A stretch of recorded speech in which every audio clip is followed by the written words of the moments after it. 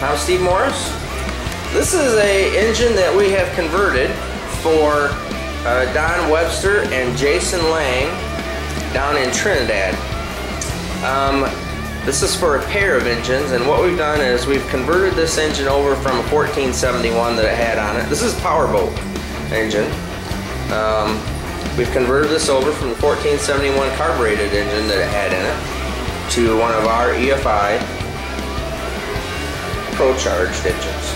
You can see here this is one of our Provoluted F3 130s. Uh, we made all our bracketry and everything for this. Now we also we made all this bracketry, so uh, we're not driving it right now because I don't run a sea pump on the dyno. But uh, we run it so our bracketry uses all the stock existing drives the sea pump, the power steering pump, uh, drives out all accessories, alternator, everything on here. Now we don't have it on here right now, but uh, we do drive everything on there. All we do is just put the belt on. But like I said, I don't run the sea pump on the dyno, so uh, we have that off. So we have custom made all this bracketry, support mandrel, uh, driving the, the dry sump oil pump down there. Um, I'll show you the comparison between where this ran exactly as they raced it before. Uh, these engines uh, go in a 50 foot Mystic uh, cat boat, catamaran.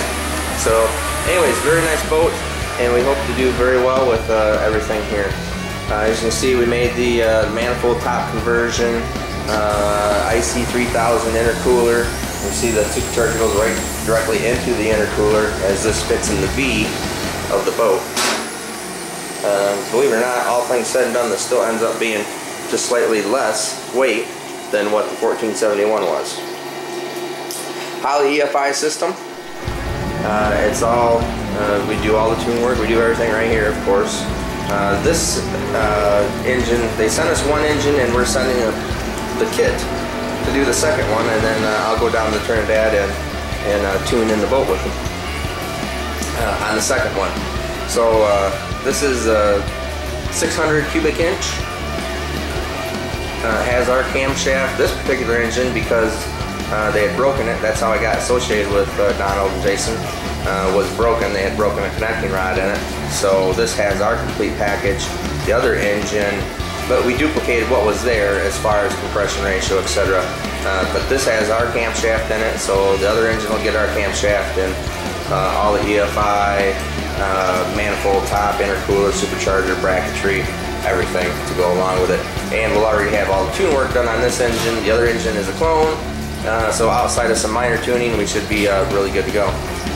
Uh, we've been maintaining, as you can see here, the we're still using the chiller, so we circulate all water, uh, and we're trying to maintain about in between 60 and 70 degree water going to the intercoolers. Uh, but the water goes through the chiller first, then circulates out of the chiller into the larger intercooler, uh, and then back into the tank.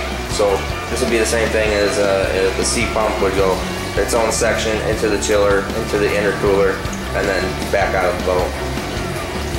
Um, what we'll do here is uh, we'll go out and we'll make a pull on it. Now this is our 93 octane fuel. Uh, we have uh, a solid full day of uh, long extensive hits on this trying to work out some mapping and tuning in the uh, low, mid, and, and uh, part throttle applications. Um, and there's always a little bit to do in the boat, so that's not a big deal. But real happy with this. And uh, what I'll do is I will go out and uh, set the camera down and uh, put it on a tripod.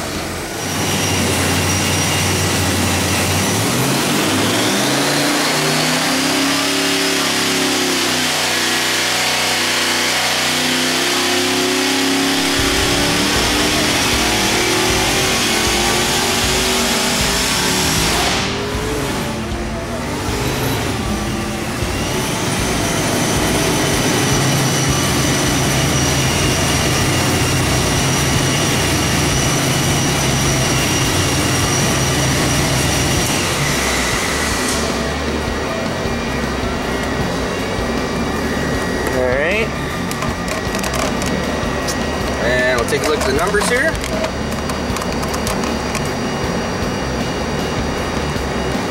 Uh, 4,000 RPM, 755, 1,008 foot-pounds of torque at 7 pounds of boost. The, let's see, 5,000 RPM, 1147, uh, 10 pounds of boost, 1,202 foot-pounds of torque. 6,000 is 1523 at 15 pounds of boost. These are air fuel ratios. We're a little lean up here. I'll fix that. Take care of some of this little bit of stuff, so that's not a problem. Um, 6500 we're 1689 at uh, 18 pounds of boost, 1147 air fuel. And right through there, it actually hits a real sweet spot where it jumps up quite a bit, and that's where it's really getting happy on the boost. Now we have a rev limiter that's right in here at, at uh, 7,000. It just starts tickling right there. But uh, 1818 at 21 pounds of boost, 11.43 uh, AFR. And uh, as we can see here, we have, uh, well, I can't really show you all that well on the on the screen, but our IATs, which are really good um, with the Holley system here. With the dual intercooler, IATs are really nice. Uh, we're just about 65 degrees with 70 degree water. So really quite happy with that. Let me turn this fan off. Um, anyways, very happy with that. And uh, like I said, that is a 93 octane fuel.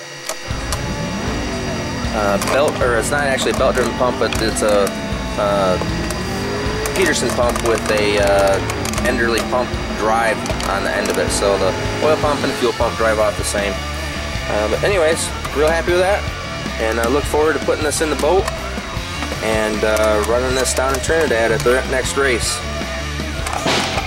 Also, wanted to show you the, uh, kind of forgot, show you the difference. Now this is what it was. Uh, it was supposed to have made, believe, 1150 or 1200. Uh, on our dyno it only made 1040, uh, uh, which is not uncommon. But the blue line is horsepower, the green line is torque. Now that is what it was uh, before. Now we can see we're actually about uh, at three pounds of boost less at 3500. We're 40 foot-pounds of torque less uh, as it went down here. Uh, you can see horsepower is nearly identical and just crosses down below. Uh, but you can see the line here. This is the old 1471. Uh, this is the ProCharger. And uh, that's our 8, 1800 horsepower up there and uh, that's our 1040 right there. So kind of interesting just to see the, the line and the linear uh, power, more linear power curve that you get with the centrifugals. But anyways, I'm Steve Morris. Have a great day.